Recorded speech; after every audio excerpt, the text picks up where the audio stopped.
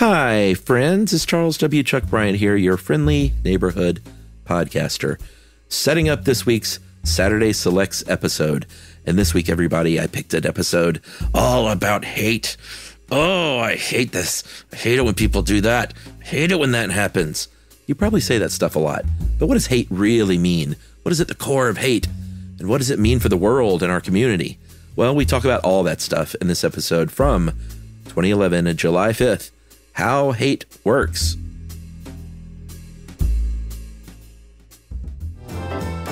Welcome to Stuff You Should Know, a production of iHeartRadio.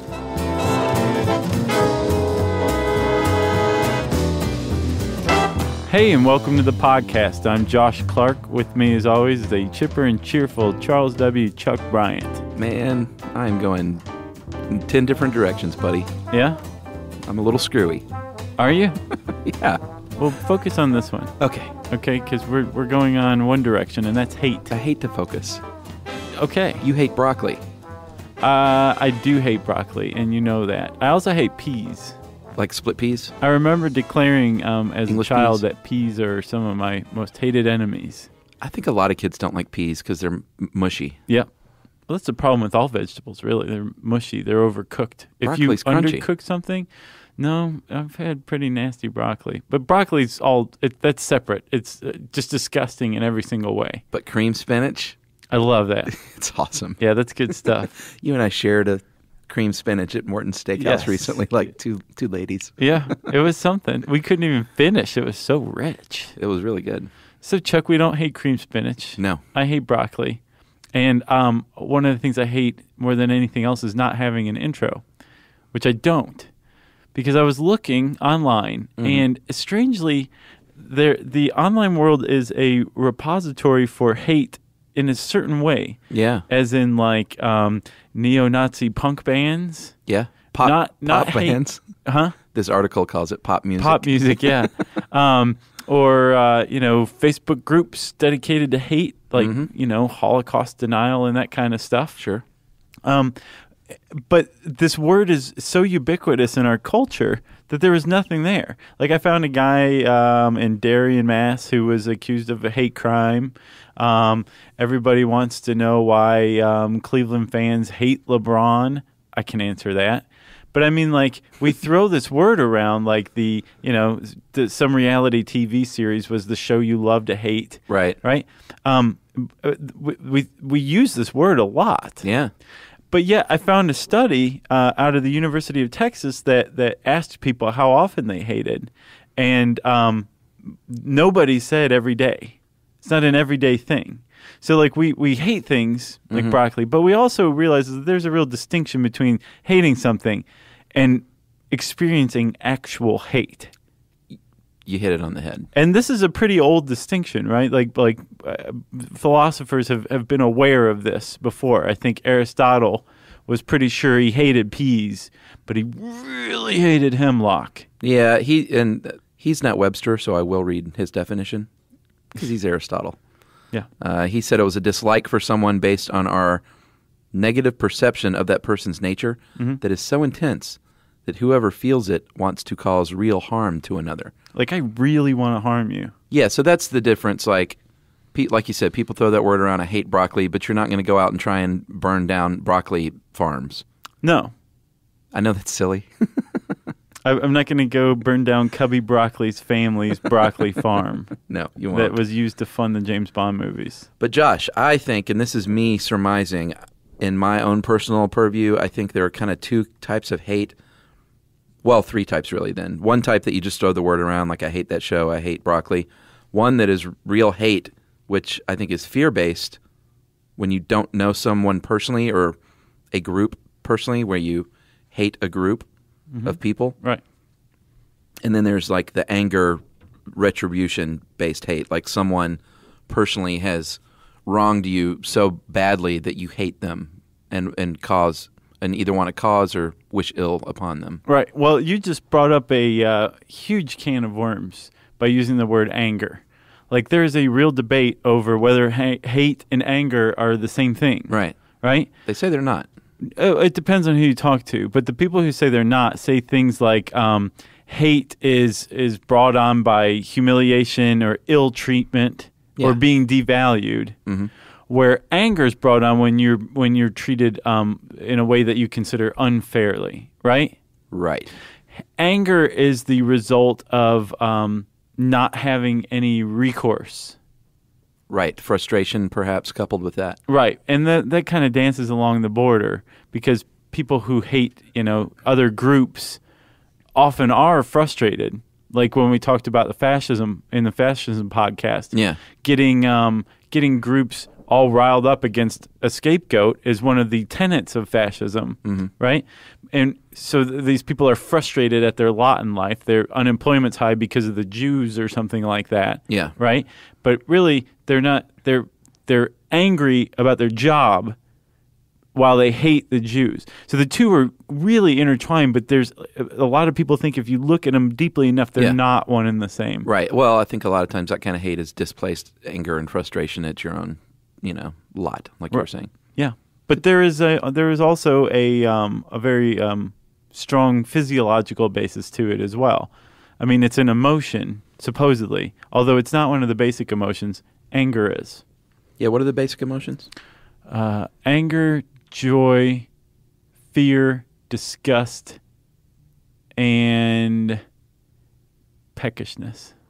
I thought it was joy, pain, sunshine, and rain. No. No. Who's that? Rob Base? No, I can't remember. I could sing it, but I can't remember. Sing it. No, no, no. I think it's Rob Base. No, it was a it was a duo. Oh no, no, no. I'm thinking of uh, I want money, lots and lots of money. That was a duo. That's it's good um, to be rich. Remember that stupid song? yeah, kind of. They wrote a song about being rich. Oh and yeah, how great it was. Yeah, And that was their only song. So unless they were already rich, then they never were. From that song. Does that make sense? yeah, it does. I don't know. You just blew my mind, buddy. so, do you hate that song? Uh, I do now because it's in my head. Sure. So, Chuck, what is this um, physiological basis of anger? Well, it's pointed out in the article uh, within an Iron Maiden song, which I thought was an odd choice. There's a thin line between love and hate. Yeah, it's like there's a whole other song called "There's a Thin Line Between Love and Hate." Well, there's a much more popular song, I think, The Persuaders, which was It's a Thin Line Between Love and Hate, the old uh, Motown song. Right? Have you ever heard the Pretenders version of it? No. It's hands down the greatest version ever. really?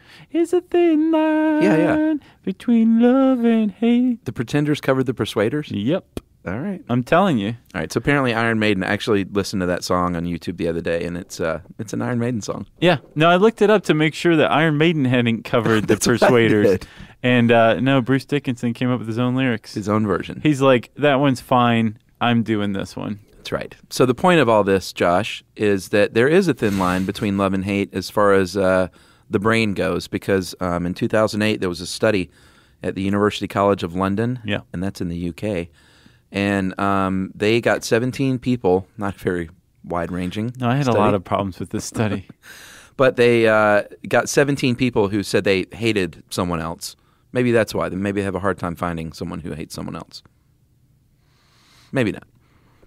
Because I don't hate anyone. I was about to ask you that. Well, we'll, we'll get to the personal stuff in a minute. Oh, okay. Uh, so this study, what they did was they found 17 people who hated someone else, uh, threw them under the old Wonder Machine, Mm-hmm. and looked, uh, showed them pictures of the people they hated it's just so funny to record the results. I guess they're like, you need to bring pictures of people you hate for this study. Yeah, they could have just said, "Think of the person you hate." I think, and it would achieve the same goal. I guess. So anyway, they uh, what they found out was that uh, a couple of regions in the brain, there's like a hate circuit they call it. They're the the putamen, Putamen. Putamen. Mm-hmm. Okay, and the uh, Jerry laughed at that, and the uh, insular cortex, both Insular. both fired up with pictures of people that they hated. Right. And the, the significance of this is that both of those regions also fire up when you see a picture or think about someone you love. Which is the longest way to say it's a thin line between love and hate. Right. And I think everybody kind of senses that. It's like um, when passions flaring Yeah. are it, it's virtually the same thing. Yeah. They're two sides of one coin. Mm-hmm. In my opinion, if you truly hate somebody, The real hate to fear is not one where somebody's like, "Oh, I hate you so much," you know, Right, because right. that that can be turned. Sure. That means that they have some sort of emotional connection to you. The one to be afraid of is the detached, calm, cool kind of hatred. Because that's the one where you end up dead somewhere. Like I'm the Green River Killer and I hate prostitutes. Well, that brings up a, a, a an interesting sidebar, Yeah. right? Um, do serial killers hate their victims? No. End of sidebar. Well, th they have long said that serial killers don't experience emotion on that scale, but they're starting to uh, to change their thinking in certain cases because a lot of serial killers suffer from antisocial personality disorder, and people who suffer from that experience a, a range of emotions. So it's not always. I think it's it's both. You know Yeah. that not you can't say every serial killer is the same. Well, they've been saying that for a long time. They've been trying to find the threads that connect them. Yeah. And I told you about the sociologist I talked to. He was just really up in arms that psychology had spent four decades or so looking at serial killers, and Yeah. the best they could come up with is anti-personal, so, antisocial personality disorder. Duh. He's like, of course they have a personality disorder. They're serial killers. Yeah, that's a good point. Yeah. So uh, back to that study though about the brain and the difference between love and hate. Um, they did see um, a difference, a key difference, because the areas of the frontal cortex associated with judgment and critical thinking become less active when you see someone you love on the fMRI machine. Right. But when you saw someone you hate, most of your frontal cortex cortex Cortex. is active, remains active. Yeah. So that's a big difference. But that makes sense as well, Chuck, because I mean, if you see, I know you don't hate anybody, so you wouldn't understand this. But when you see someone you hate, you're you just say that like, like it's a personality flaw. you just uh, you, you you you tend to criticize them in your head, like, oh, you're wearing that sweater today. You look so fat and stupid in that sweater. Right. I hope you somehow get you strangle yourself on that sweater. Yeah. So the point is that it takes like hatred as an active thing. It's an active rumination on this. It's not a knee jerk thing like when you might see a picture of someone you love. Right. All right. So this is interesting, right? That's what that study came up with. The sev- the seventeen people. Yeah. With the, this, yeah. They couldn't get exactly. twenty. you know. And the other problem is, I'm sure they were um, weird, Western educated, uh, de- something rich and developed. What are you I can't remember what the I stands for. And what would you dispel? Weird. Oh, oh. It's basically like the idea that all of these studies that cited are cited, a lot of them Uh-huh. are they're just college kids. So Right. it's like this really narrow niche Yeah. of the human population that they extrapolate onto. Yeah. Good point. And in this case, they just use 17 of them. Well, we're here to report it and then criticize it. And we're done. We did both. That's right. Uh, what what's the deal with like uh, old hate though? Like, don't they have some inclination of like early hate with cavemen and the like? Well, yeah, because the parts of the you know the the closer to the center or the brainstem that you get in the brain, the more Uh-huh. ancient that part of the brain is. And if there's a region like the putamen that's associated with a, a certain thing, e.g., hate, Right. then that means that hate's been around for a very long time because the, the our part of the brain uh, has been able to carry out that function for this long, or should ostensibly. Gotcha. Right, but then it's also new with the prefrontal cortex, which is a fairly newer um, aspect. So maybe we just hated, but we didn't criticize. We just hated, and they think possibly that we developed hate as a species or a capacity to hate as a um, survival mechanism way back in hunter gatherer days, uh, where we could feel justified by, say, taking food from another group Yeah. because we hated them, which I actually found pretty, that's a pretty inspiring idea. Oh yeah. Yeah. That you had to work up hate enough to go and pillage. Yes. Okay. I think that's kind of neat because it makes it seem like we aren't naturally hateful beings, and I don't think we are. I, I agree. I, I believe everybody has hate, and everyone has a vast capacity to hate. But I don't. I wouldn't characterize this as generally hateful. That's good. Thanks. I'm kind of surprised to hear you say that. It's true though.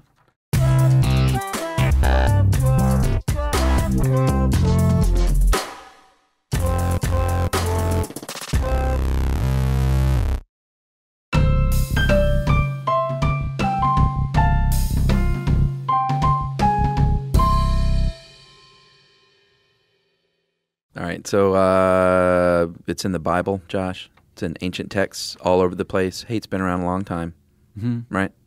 Are we going to talk about Carthage? Yep. Because I know you love this. The Carthaginian general Hannibal. Carthaginian you got to stop that. uh, Hannibal pledged to his father, Dad, I hate Rome. I hate Romans. I don't like the Italians.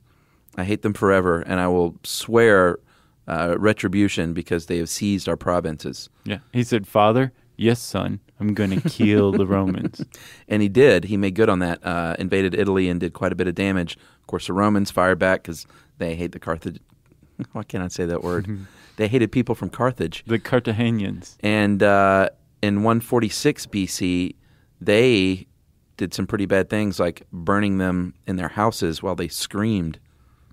But is that hate? Like, I don't know, and that's a. I think that's an issue that I have um, here or there with this is that uh, there. That's kind of a jump to conclusion. Like, is it hate? I don't know. It does hate form the basis for war or horrible acts in war? Well, I don't know because it's it's condemned pretty much in like the New Testament in the Bible. It's condemned in the Quran. Uh, Let not hatred of a people incite you not to act equitably. And in uh, medieval and Renaissance Europe, you came up in not you, but in Italy, they came up with the vendetta, Right. which is uh, very much retribution for, No, for hatred. There you go. I, I see. That's what I'm saying. Like, I think, let's say a Roman soldier comes to your town while you're away using the the latrine pit that your village has dug, Yeah. And they burn your family alive in your house while you're using the bathroom. And you come back and you see the Roman legions going away, and your family's dead, burned to crisps. Right. Mhm. Um, I don't think the Romans necessarily felt hatred to commit that act, but that act would incite hatred in the person that it befell. Right? Okay, sure. So I think a vendetta is an excellent example of hatred Yeah. because somebody done you wrong and you're going to get back at them. Right. Or they did something to your father something you uh, the vendetta is very long lasting from what I understand. Yeah, and it's not. I mean, this is obviously we're talking about mafia vendettas and war vendettas, but it can happen on a smaller level. You might not think of it as a vendetta, though. But if someone done you really wrong, and you're like, I'm going to get that person back by doing this in six months when they least expect it, that's a vendetta. Yeah. But you you don't call it a vendetta. No. It's just uh, Well, in in Italy they do. it's just comeuppance or um, I'm going to get you sucker. yeah.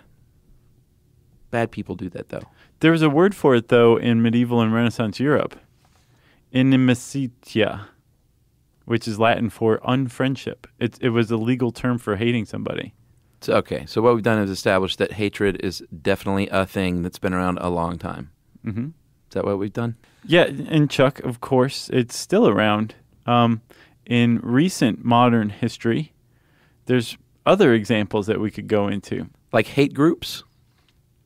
Uh, yeah, well, uh, let's talk about the Nazis real quick because again, we talked about fascism and one of the tenets of it being, um, uh, I guess, inciting other a group to hate. Yeah, group hate. That's that's where we are for sure. and a lot of uh, that that gave a lot of a body of data for people to study and that they're still studying but um, one guy in particular named martin oppenheimer who's a sociologist from rutgers university um, was basically said like look the nazis are proof positive that you can number one get an entire group to hate another group Right. and that it, you do this by um, identifying and exploiting the, the group that you're with, Right. their frustrations, say unemployment, joblessness, Yeah. and then basically saying those are the people who are at fault. That's how you stir the pot. Exactly. That's how you incite hatred, which has got to be one of the worst things you can do. One of the worst nonviolent acts I think a person can commit is incite hatred. Oh yeah. You know? Yeah, and also I thought what came to mind to me when I was reading this was some of these same tactics, like marginalized people, people who are uh, insecure, who are seeking safety somewhere. It's also the kind of the same thing they do with the cults and the brainwashing. they're seeking out these same types of people and saying, "Hey, you feel marginalized, you feel like you're not loved, you need a, a safe haven," but they're not saying go hate someone else. They're saying just come and be with our group. Well, our, our association of like in group and out group is like this emotional, psychological razor blade that can be exploited in any number of ways. Yeah, exactly. You know? But it's always a marginalized people. It seems like. Yeah, yeah.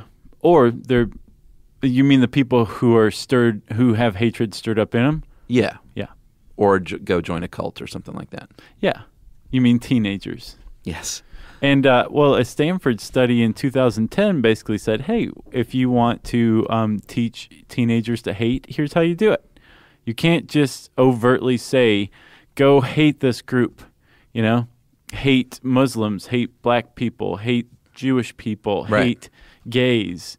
You can't just say that. It's not good enough. But if you tell a story that basically implies "Oh, this is these are people you should hate and here's why Yeah. right? Like um, homosexuals are pederasts, and so you know you can't let them into certain groups. And by the way, you should hate them because of this story. Right. Then that know, works. I think that I had a problem with that one because it was like that's true for everything. If you tell a story, it's going to hit home more personally to somebody. Yeah, You can't say, "Hey, go love uh, Seabiscuit," because he ran a horse race that was pretty neat. But if you tell the story of Seabiscuit, all of a sudden you're going to leave that thing going, "Man, I'm getting my butt to the Kentucky Derby next year because I love me some horse racing." I love Seabiscuit. See, you saw the movie, right? No, I didn't.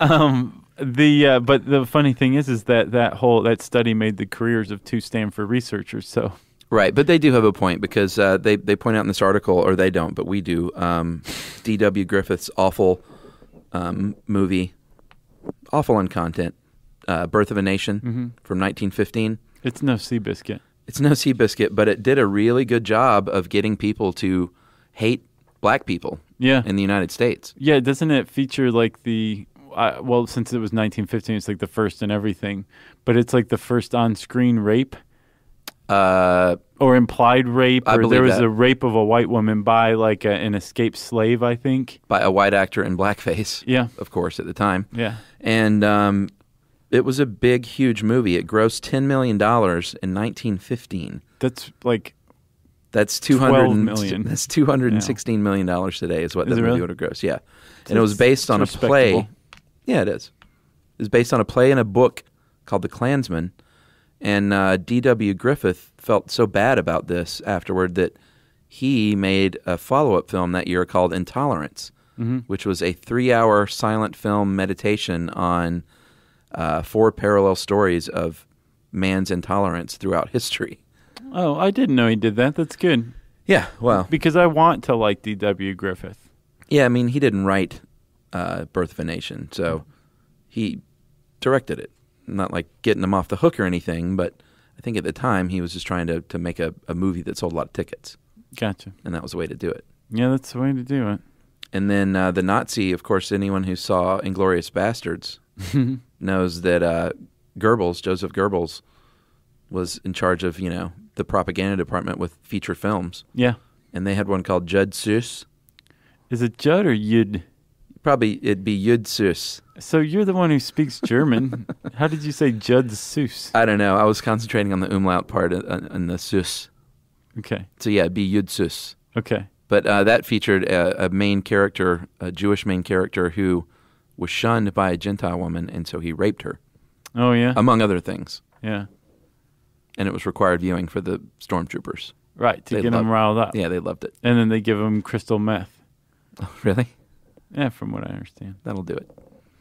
Um, and that didn't just go out with the Nazis. Um, media has been playing like more and more of a role um, among, I guess, hate groups, hatred as a as a concept and as a practice, right?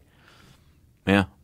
Because um, I think in the '90s, uh, Bosnian Serb TV showed um, something that's kind of referred to now as like a basically hate mongering um, series called Genocide Yeah. that stirred up emotion against the uh, the uh, Bosnian Muslims, right? Yeah.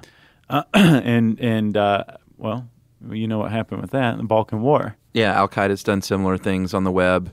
Uh, obviously, the web is a good place to, to go try and get this thing done these days. Yep.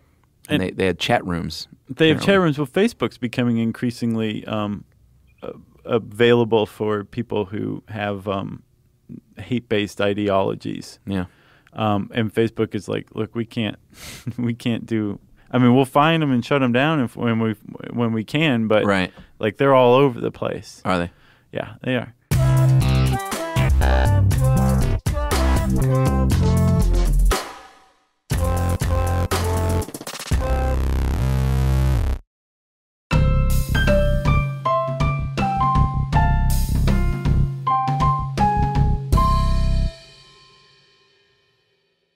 Um, and then uh, also Chuck pop music. Yeah, they called it pop music. And the reason I know I can't call it pop music is because I've seen uh, some of those specials on. I saw a really good one. I can't remember on neo Nazis, and they have you know they have musical groups that are neo Nazi songs, and they just sing about hating other people, and it's you know it's aggressive music. It's not. It's not pop music. It's not pop. There's no synths. No, it's not Hanson.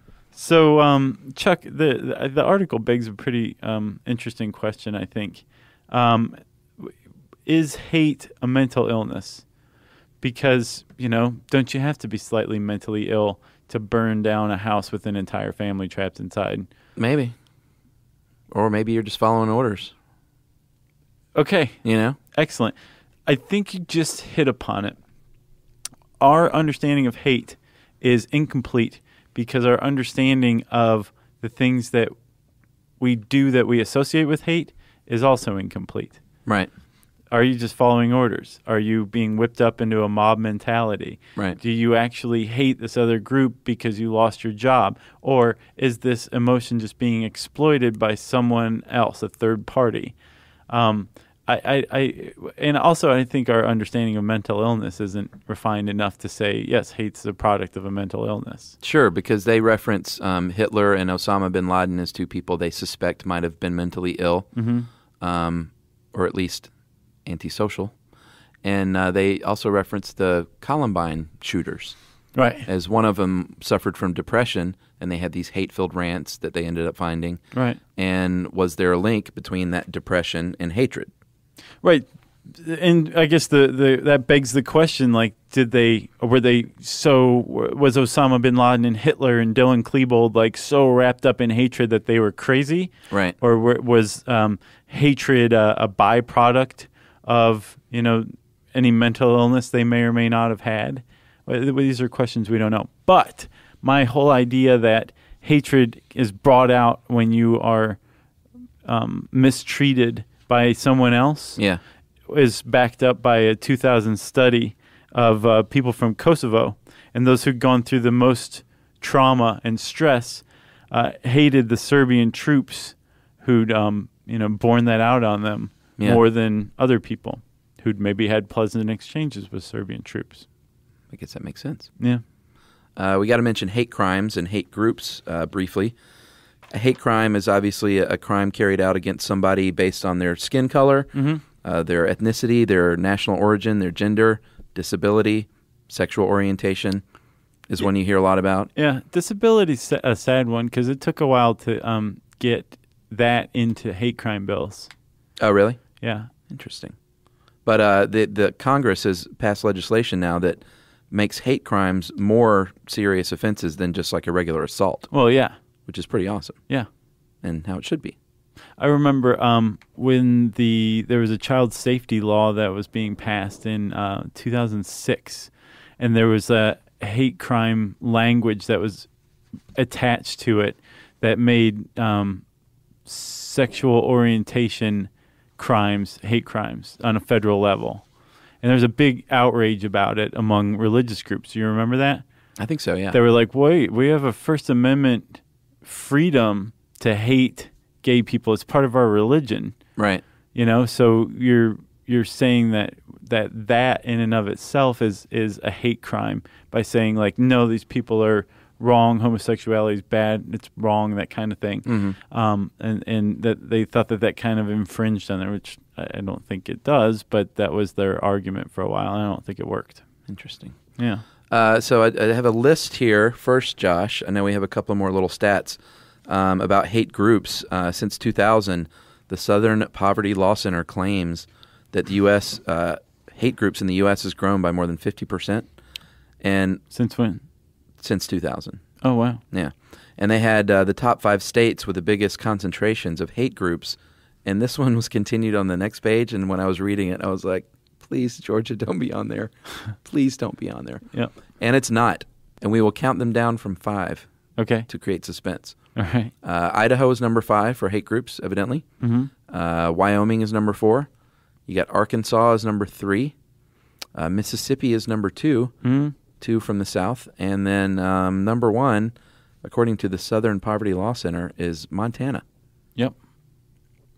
That's, you know, Montana. Grab your guns, fellas.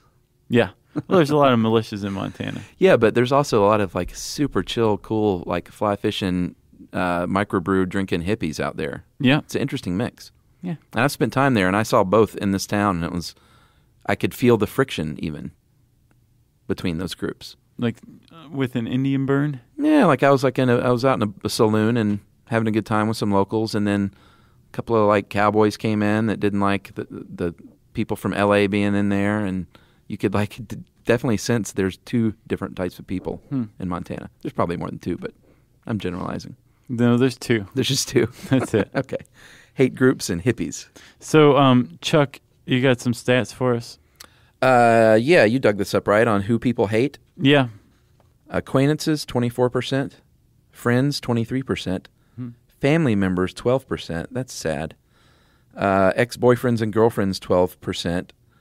And uh, within the family, its fathers are hated the most at 45%. Yeah. Mothers at 23%. In laws at 13%. And siblings at 3%. That's kind of sweet. That's surprising to me, though. I would think siblings would be the highest because they're the ones that beat the tar out of you most frequently in most families. All right, so do you hate people? That's. Let's finish up with that. Um, I've found that the best way to hate somebody is to just check them off.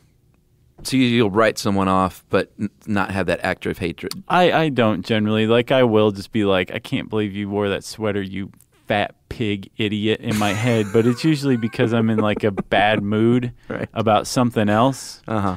Like, I don't walk around just actively hating people. It's a waste of time. Yeah. It's a total waste of time. Yeah. I don't. I don't- I don't think I've ever hated anybody. I had a situation. a- An, an ex girlfriend uh, shacked up with one of one of my best friends after I moved state, Okay. and we were broken up, quote unquote. But I also was like, "I'm coming back for you."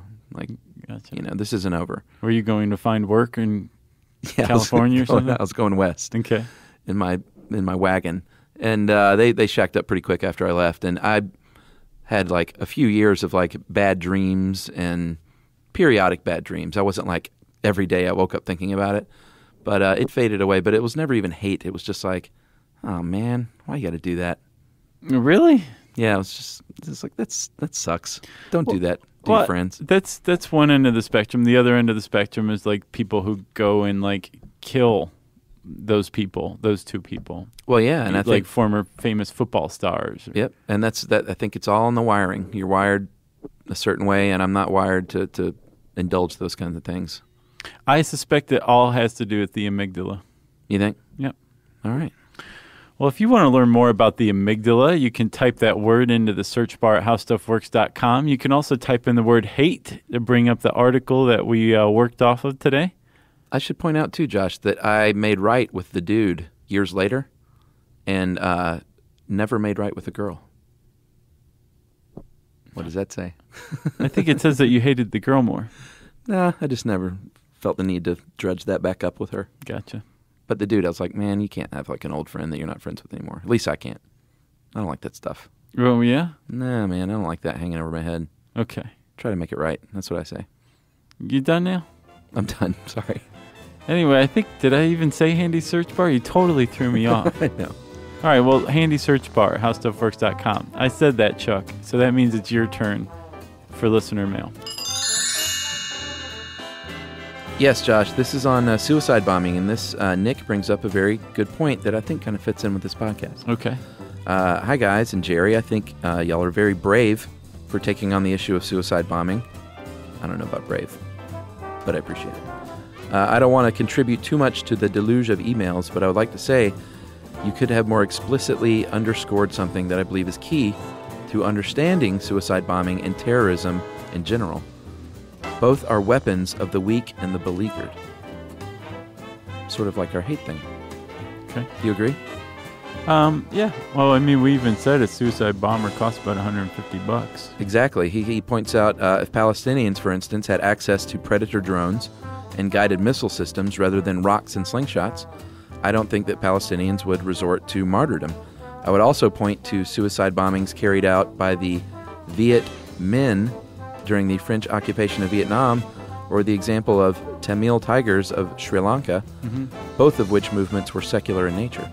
All I want to say is it seems like suicide bombings is a phenomenon often arising from situations in which there's a huge asymmetry of power between an occupying or apartheid regime regime or a native or oppressed population. Uh, you guys did mention this, but I think this dimension is at least as important to the issue as religion or notions of martyrdom. Uh, and that is sincerely from Nick. And I kind of agree, Nick. Yeah, Nick is a sharp tack. Yeah, it's like right on the money. Yeah, thanks for that one. Wow. Okay, well, if you think you're a sharp tack, we want to hear from you, right, Chuck? That's right. Send us an email about anything at all, anything at all, to stuffpodcast at howstuffworks.com. Stuff You Should Know is a production of iHeartRadio. For more podcasts from iHeartRadio, visit the iHeartRadio app, Apple Podcasts, or wherever you listen to your favorite shows.